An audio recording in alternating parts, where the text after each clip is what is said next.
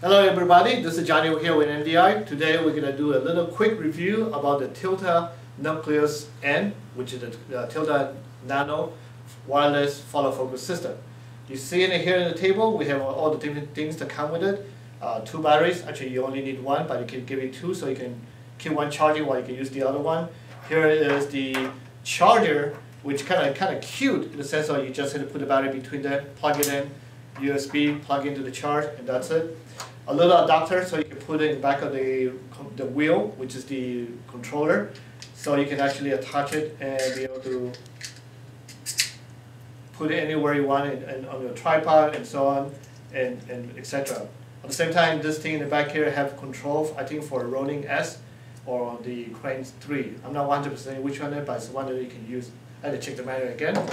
This is a little tiny receiver. This is why you put it next to your lens gear, and then we'll actually move it. Very small, very tiny, very cute. Unfortunately, do not have any power uh, in it, so you have to do is you need to get a power bank like this, or you can use a D-tap, P-tap batteries like this to, oh no, this is another battery. Wrong battery. or you can use, a battery, thank you Scott, battery like this for D-tap and P-tap uh, to power this up. Or you can use any type of power, uh, power bank like this one too. Actually they all work, should work. What I like about this system also, they come with a little quick release plate that you can actually attach the rod onto it and put the nano onto this part of it. Uh, it's really, really very nice thing they put together. I really like this a lot. Uh, there's a little clamp here for Ronin or crane, uh, crane 3, I believe. And then you have all these different kind of uh, L-wrench adapters that you can use to screw up things, screw it together. What I don't like about it is you have to use three of them different versions. There's three of them. To use one for this part, one for the bottom here, and I think one for for attaching this to the gimbal. It comes with the micro USB port. Is micro or maybe micro USB? And then there's also adapter for the Ronin, I believe, that you can use. Again, you can find out a lot of information about this uh, follow focus system uh, online. But today we're going to do is do actually a real test to show, show you how it works on the Blackmagic Pocket Cinema 4K camera and on GH5. All right, guys, we're back here. Right now we are using the Nano, uh, Tilta Nano uh, wireless follow focus system with my GH5. You can see it's actually attached to the Meike T2.2 Cine lens. That's one of the cheap lens you can get for about $389, but it does a really great job. Uh, to be able to get this going, you make sure the channel is the same. And obviously, I'm going to go through the same thing that everybody has been doing, is how to set up correctly. You just YouTube that, and you can find a lot of tutorial how to set up correctly. So all you have to do is turn this on, uh, press a couple seconds. You turn on, make sure the channel is the same, 9, 9. And one thing that I really like about this is the auto calibration. So this uh, Cine lens does have a stop between the M, both endpoint. So the, for the follow focus to be recognized, there is an endpoint and doesn't go over and uh, damage anything else. You can do is you press the calibration button for for a couple of seconds to three seconds, actually three seconds. And then you're gonna see what's going on happen. They actually go one end, one point at the end of the lens, and they go the other side of the lens. And you got to calibrate it. So what we're going to do it, going to try to calibrate, uh, focus between nucleus, the title, the, the box that come with it, to the camera in the back. There is a slight delay, uh, but I don't think that's a major issue. And I've been told also that the um, receiver can get from 5 volts to 17 volts about power in, which means that the higher the voltage, the stronger the motor can go, and then the better it can control uh, heavier lens, like the Sigma 1835 or any some, some of the cine lenses. However, in their website, they do say that this is not, not really for uh, official cine lenses, but more for the photo lenses that can use with cylinder gears. So that's something you have to keep in mind. But overall, this is really good. I definitely like this a lot. Extremely quiet. You hardly can hear it.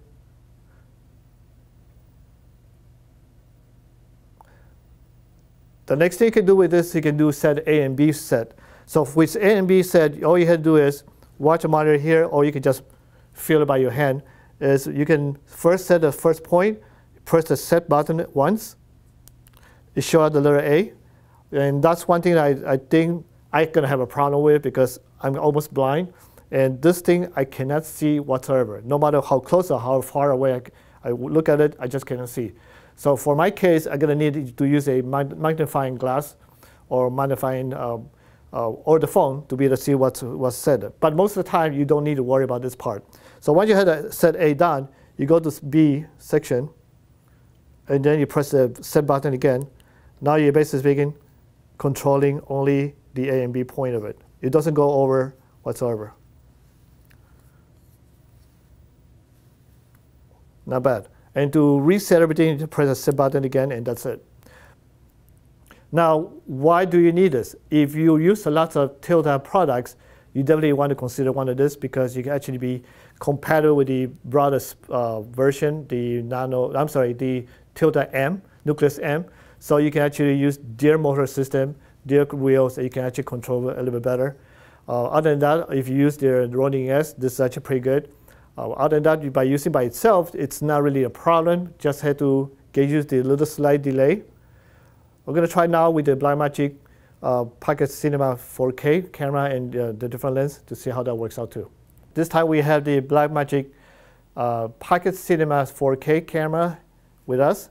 And this the, that's a Canon lens, it's a zoom lens with a little adapter in the gear and also attached to the Metabone uh, system. So the difference this time we're doing is we're actually feeding out the power for the Tilta Nano from the D-tap battery here. So it's go all the way here using a D-tap to mini USB cable, which you can get on Amazon or Tilta website for about 25 to $30, and then attach here. The difference here you can notice is it's way more responsive. So if I go to here, and then go to the other one, see how fast it gets? It is the same normal speed I, would be, I was using earlier. So that, like what Tilta have said, uh, the more power, or rather, the more wattage you provide to the uh, receiver, the faster and more less latency you will get when you do the follow focusing. So that's pretty cool. We're gonna try again now with the same setup, but using a USB power bank.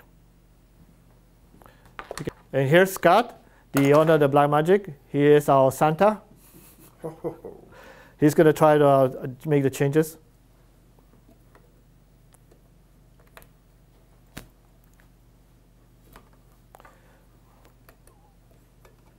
while I really appreciate how Tilta had made this uh, receiver so small, I started to feel like you should probably put the power connector area somewhere else, either the, you know, facing outward here, where the panel is, the screen is, or facing the bottom, because it makes it much easier to control. So we're using a, now we're back, and we're using uh, the huge battery here by using USB out all the way to the re receiver. And this one still have very responsive. Is it responsive? Yeah. Now let's try again with that battery, the blue one, the, the, the portable one. Yeah.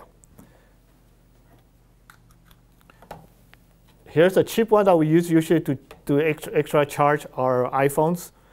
And we'll see how the delay is. Yeah, there's a delay. That's a huge delay not huge, but there's a, a minor difference delay. What do you think, Scott? Is there a delay or not? yeah. And also, I had to turn the wheel a little bit more uh, to the extreme to be able to get the, the focusing going on. Okay, and that's it for this one. Thanks for watching.